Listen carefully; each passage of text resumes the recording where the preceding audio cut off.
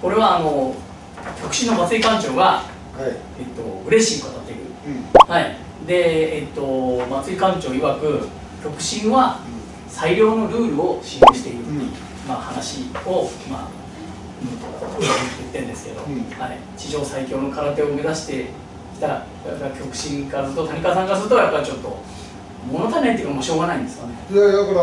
松井館長というか本当スマートな人で。はいだからあのやっぱり大山総裁なんか極真空手っていうものは地上最強の空手っていう、あの格闘技の中で一番強いのは空手だよと、うん。空手の中で一番強いのは極真だよっていう、ねもう一最上位概念として、はい。えー売り売ってきたわけじゃないですか。はで、えっと一方でその USC っていうかアルティメットみたいなものが出てきた時に、やっぱり寝技とかなんかやられた時に、いはい。じゃあこれに対してどう答えるかって言った時に松井館長なんかはまああのごまかしてないよね。寝技になったら別にダメでしょって なるほどなるほど、うん、ただごまかしてないんだけど、えーあのじゃあ自分たちの空手っていうのをちゃんときちんとその場で見つめ直して、えっ、と極真っていうのはやっぱね体重無差別もやれるしいや安全性とかいろんなことを考えた時に最良の空手なんだっていううん最強の空手から最良の空手に、えー方向転換した思い切っていったこと自体は、あの僕はやっぱり頭いい人だなっていう。これ逆に言うと変な嘘ついたりとかごまかしてたら余計ダメですよね。なるほどこの K1 が出てくる USC が出てくる時代の中ではい極真空手の立ち位置っていうもの。をそこのところをまあすごいやっぱり明確にスマートに語られてるところはすごいところだしでもじゃあじゃあ最強の空手がなくなったかって言ったらすごい残念なうん。思いはあるけど、うん。でもそのああいう専門家から見ればその実践論の解釈が違うからね、ああそうか。うん。うん。そこであの論理をずらすんじゃないけど、うんいやいやあれは USC っていうのはあくまで1対1の対マンでね決闘の話だから。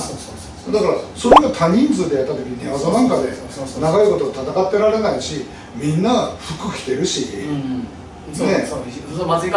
そうそういうそういう話でしょと。そうそうそうそう。一喧嘩になったら喧嘩になったらグレーシーな話第一ないと。ないし、うん。あんだけ寝転がってたらやっぱり止められるしあの他のやつに蹴られたりあれするし。じゃあそういうふうにならないような状況の中で、えー、とどうやって戦うかっていうのはやっぱり極真っていうのを目指してるっていうその理屈もね最もだと思います確かに実践っていう意味が違う、うん。1対1の実践だからね、要要はあの UFC がやってることはっていうことですよね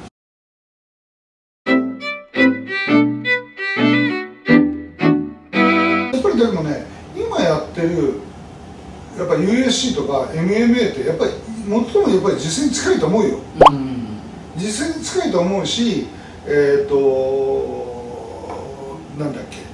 えー実践には近いと思うんだけどもやっぱり金網っていうあのルールが進化していくと金網をどうやって使って戦うかとか、はい。5分1ラウンドの5分っていうものをいかに使うとか、はい1対1ってもので裸でやってるってことをいかに使うかってみんな考えるからね、はいはい。それで進化していくから、はい。やっぱり実践と遠ざかっていくんだよね、きますね。うん、だから一つの MMA も、まあ、実践には最も近いけど一つのルールになっていくっていうか、そうですね。うん。確かに。でね谷川さんこの中で船木さんのなんか座談会みたいなのがあってね、で船木さんはあの要するになんだ USC っていうのはもうあの初期の USC は危険っていうもういうん意意識がみんなわあるので、うん。えっと普段のパンチがを出せるチャンスが出せない出さないし、はいはいはい普段のキックも出せない、はいはいだそのそんな USC ってどこまで意味があるんだみたいな、はいはいはいまあ理屈で船木さんを語ってる座談会みたいなあるんですけど、確かに初期の頃の USC なんてお互いに手が出せなくなったもん出せない。ね、怖くて。そうそうそう。なんかあのまず向こうが何してくるか。わからない。怖さもあったし。で自分がやってる例えばボクサーだったらあのなあのなパンチしか出さないって前提の中で磨いてる技術だから、そんな殴った時にまあそれこそボクシングのクリンチじゃすぐ終わっちゃうように蹴られたり掴まれたり投げられたらどうしようって言ったらまあパンチもあんな思い切って出さない。ただそうなんだけどやっぱりルールだから思い切って出せるような状況にどんどんルールを研究していくとなってくんだよね、今の USC そうそうもうあのだからなんだっけ二十数年経っちゃったじゃないですか。二十数年経てばそれはなんかいろんな技が出てくるし、出尽くして、うん。どうやってやれば勝てるかっていうノウハウももう分かったので、そう。だからその時点では怖くて出せなかった。やつも怖怖がらずに出せるような技術っていうのはやっぱり人間ってすごいなと思うんだけどどんどんどんどんやっていくうちに進化していくっていうか、はいはいい、う感じだよね、はいはい。はいはい、うん。えでもねそのあの松井館長が言うにはその僕らの時代はその勝負の世界の話だけど、まあえー、と大山総裁の時代は負ける、うん？かえー、と生きるか死ぬか。生死の時代の、うん。生死の世界の話だと、うだからまあ今の時代とは違いますね。んうん、そうっていう言い方はまあしてます。だから本当に格闘家といえども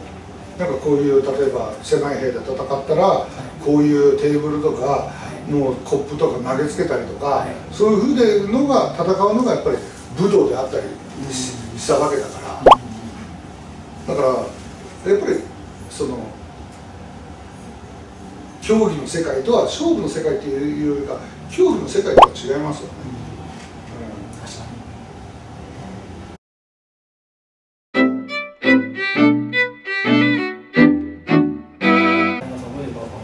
このこのメンツでなんか座談会うん、ああやったんだこんなの。すごいね。ああ紀ノ国屋でやったんだ。ででこの、まあ、船木えー西さんバクさんあとは山木さんが出ててで山木さんはそのグレイシーとかに関してその、まあ、自分は自分の方向は違うけども、えー極真会館を多多流試合をやると波紋ですよねっていうでもやってやるという気持ちはあります、うんうん。それを気持ちは持ってますよ、はいはいはい、まあうん、もうやらないけど、ええ。うん。気持ちもあるしだから最後言った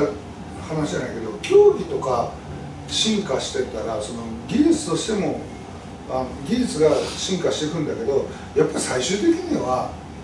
人の問題になるからね。なるほ例えば松井館長が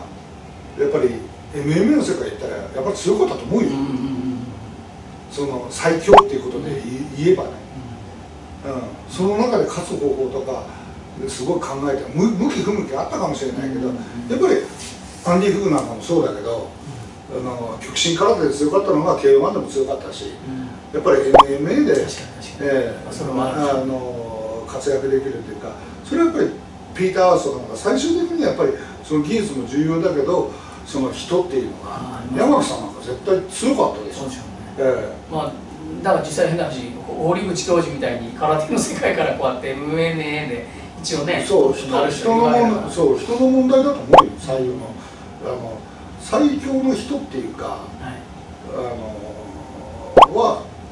その時代時代によって競技が変わってるだけで、うん、だからそれで柔道が強いとか空手が強いっていうよりも柔道やったらあいそいつが強いんですよ、うんうん。その柔道っていうジャンルが強くそれらだけの練習をうん。あのやってたりとか、うん。だから極真の人たちは強いと思いますよ、うん。他の競技現に活躍してるもんねみんな。どっかでまあ天使だってそうだけど。そうですね確かに。うん、極真出身だしね。そうですね。まあ、そういうとこはすごいと思います、なるほどまあなうんわかりましたいやうんでもまあ多流試合っていう概念をこの現あの平成というか21世紀に蘇らしたのはすごいですようん。あ USC がね。UFC が。うん、でも今タリージェなんかないもんね。ないないないない。タリージェぐらいしかやってないの本当に。そうか。本当になんかタリージェっていうのがやっぱり確かに。USC 見てもないもんね。ない、うん。まあもうそういううんそれは残念な話だけど、うん。そう。でね新日本が闇の中を走ってる。でね新日本が闇から脱却する方法を山坂です。なんて書いてこれは一つしかない。えっとね病に深い病にかかってかかっている新日本これを脱却するには